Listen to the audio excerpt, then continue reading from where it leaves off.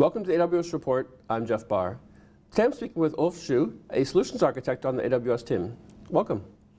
Thank you for having me. So let's talk about CloudFormation and how you've used it in your work so far. Mm -hmm.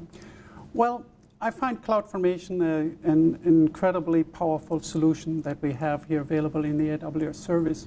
And it's, it's uh, so incredible because it allows me to um, repeatedly, reliably reproduce setups and configurations, or we call them sometimes also stacks, if for customer scenarios that um, either a single customer wants to use, or in our cases, we often want to achieve that many customers use these kind of configurations.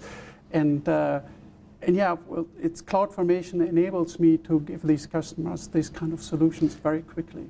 So I know you use this to put together some really interesting templates to build a, a complete SharePoint architecture. So let's talk a bit about that. Yeah.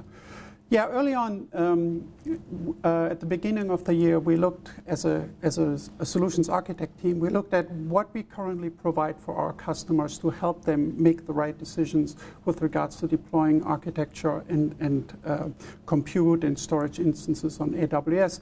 And we found that we give them a lot of guidance around architectural pieces, how an architecture looks like, and what they can and should do.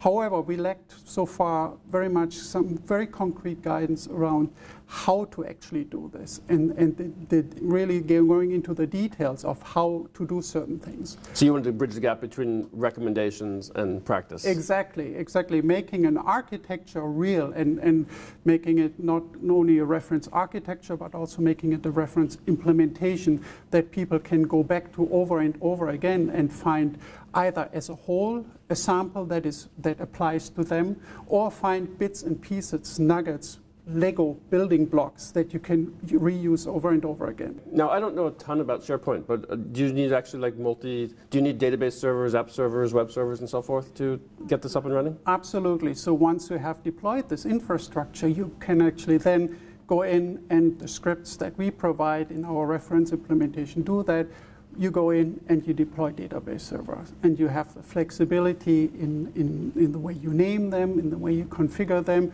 You can deploy one database server, or if you want to go complexer for high availability, deploy a second one in a different availability zone make them have them mirror each other, deploy uh, in the in the concept of database mirroring. You use a witness server for to detect failover. You can do that.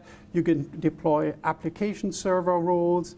You can deploy multiple of those because SharePoint allows for grouping of these roles, and you deploy web front ends. And again, then you can do this by taking advantage of some of the services that we deploy uh, in AWS and that help you.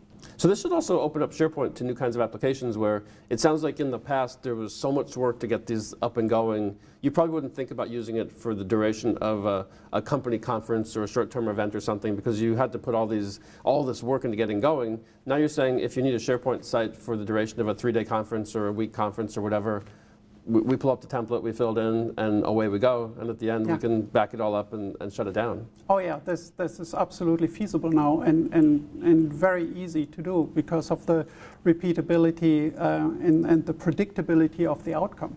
Sounds great.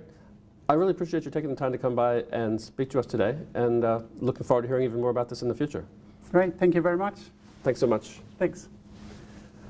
My name is Jeff Barr, and this has been the AWS Report.